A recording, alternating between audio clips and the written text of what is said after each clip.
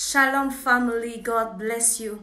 This is prophetic intercession with Armelle. You're welcome. If this is the first time you're seeing me, thank you so much for clicking on this video. I pray it blesses you in the name of Jesus. And if this is not your first time, family, you already know I love you and I pray for you always.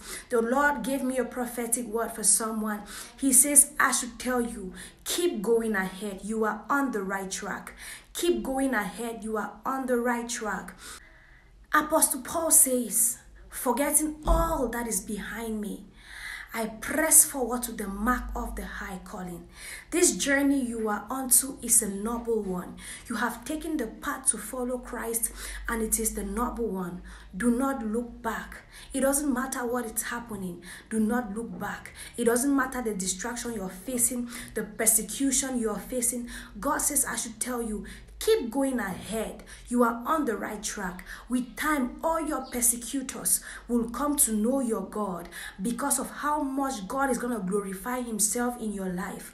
All the people who speak against you right now, all the people who are trying to discourage you right now, they are come they are going to come to know of God and of His love because of how He's going to glorify Himself in your life. The way you have to go is forward, never backward like Apostle Paul, do not look back. Forget everything that was in your past and keep pressing on to the mark of the high calling. God confirmed this word again to me by giving me a scripture in the book of Luke chapter 9 and verse 62. Luke chapter 9 and 62. This is Jesus speaking. He says, But Jesus said to them, No one having put his hand on the plow and looking back is fit for the kingdom of God. No one, having put his hand on the plow and looks back, is fit for the kingdom of God. You just have to keep pressing ahead. You just have to keep pressing ahead.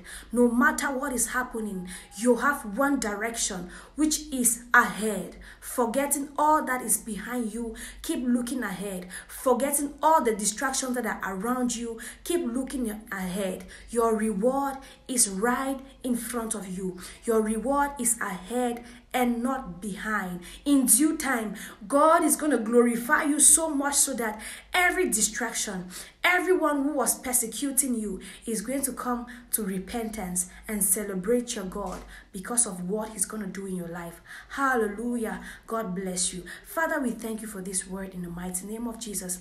I pray it falls on a ready heart. In Jesus' mighty name, I pray. Amen. God bless you.